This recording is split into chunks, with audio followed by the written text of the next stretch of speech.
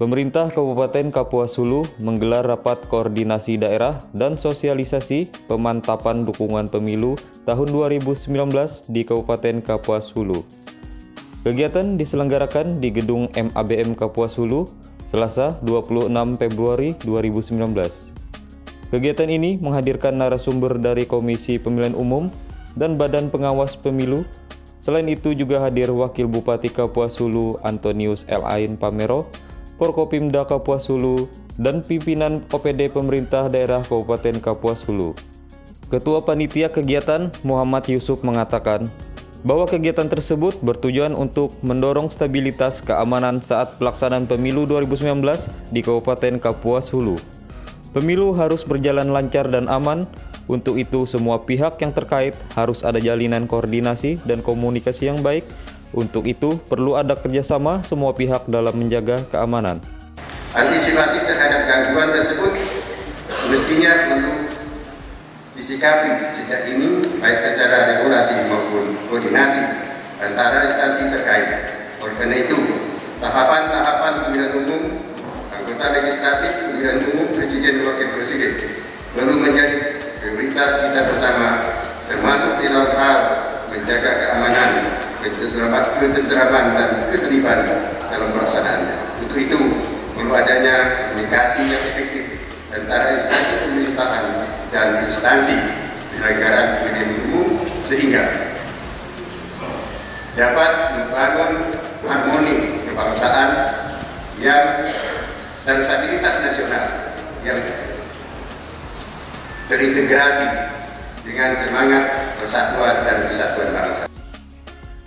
Kemudian Wakil Bupati Kapuas Hulu dalam sambutannya menyampaikan 13 hal pokok yang harus dilakukan pemerintah dalam pelaksanaan pemilu serentak tahun 2019.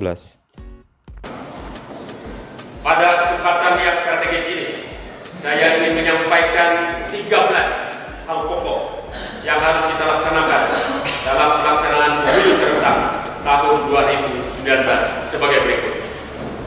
Pertama, Mari secara bersungguh-sungguh kita mensukseskan pemilihan umum legislatif, DPD, pemilihan umum presiden dan wakil presiden tahun 2019.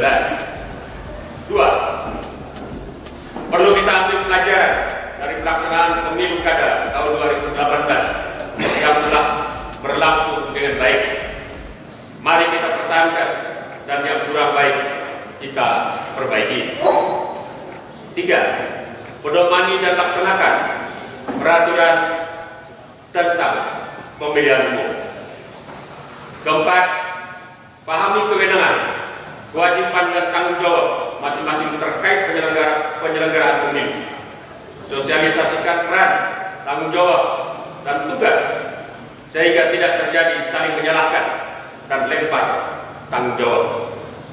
Lima, cegah dan tiadakan penyimpangan serta pelanggaran pemilu, termasuk tindakan intimidasi oleh siapa pun. Berikan sanksi terhadap penyimpangan dan pelanggaran pemilu secara tegas dan adil. 6. Cegah kekerasan dan benturan antara kontestan pemilu. 7. Jaga akuntabilitas dan transparansi penyelenggaraan pemilu oleh peserta pemilu, pemerintah dan pemerintah daerah serta penegak keamanan. Cegah hal-hal yang dapat menimbulkan kecurigaan terhadap penyelenggaraan pemilu. Delapan, jika terdapat protes dan aduan, lakukan secara tertib dan damai, dan damai sesuai aturan dan mekanisme dan hindari kekerasan dalam penyampaiannya. Sembilan, pers dan media massa supaya menyampaikan siaran dan pemberitaan yang akurat dan konstruktif secara fair, jujur terbuka, dan berimbang. 10. Kepada jajaran pemerintah supaya tetap mengutamakan penyelenggaraan tugas-tugas pemerintahan, cegah terjadinya konflik of interest, tarik-menarik kepentingan. 11. Jaga netralitas ASN, TNI dan Polri dalam penyelenggaraan pemilu. 12.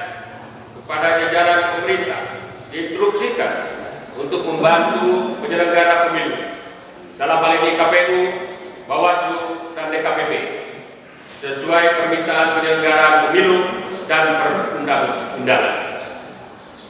Dan yang terakhir, gunakan anggaran dengan sebaiknya, pastikan tidak ada penyimpangan dan jaga akuntabilitasnya.